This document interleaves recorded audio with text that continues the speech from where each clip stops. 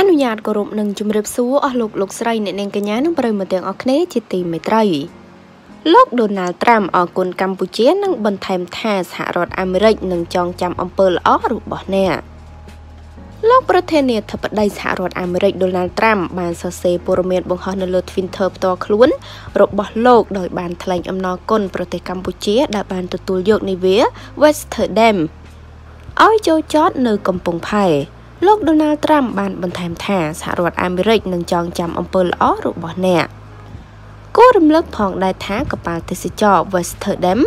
បានមកដល់ខេត្តព្រះសីហនុនាព្រឹកថ្ងៃទី13ខែកុម្ភៈឆ្នាំ2020ហើយអាជ្ញាធរប្រទេសកម្ពុជា បានទទួលស្វាគមន៍យ៉ាងកក់ក្ដៅក្រោយប្រទេសនឹងកោះសរុបចំនួន6បដិសេធមិនអោយនិវេដ៏ធំមួយនេះចូលចតឡើយដោយសារតែភ័យខ្លាចអ្នកដំណើរមានផ្ទុកវីរុសកូវីដ -19 ថ្មី ចាបន្ទាប់ពីប្រទេសកម្ពុជា បានទទួលនាវាទេសចរដ៏ធំរបស់អាមេរិកឲ្យចូលចតគឺពិតជាទទួលបាន ការអបអរសាទរក៏ដូចជាសរសើរពីសំណាក់បណ្ដាប្រទេសផ្សេងផ្សេងអំពីទឹកចិត្តដ៏ល្អប្រពៃរបស់ប្រទេសកម្ពុជាហើយលោកដូណាល់ត្រាំដែលជាប្រធានាធិបតីសហរដ្ឋអាមេរិកលោកក៏បានថ្លែងអំណរគុណ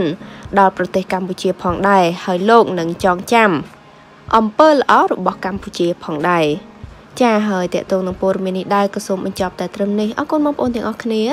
សូមចុច Subscribe និងរូបកណ្ដឹងដើម្បីទទួលបានព័ត៌មានថ្មីៗជាបន្តទៀតសូមអរគុណសូមគោរពលា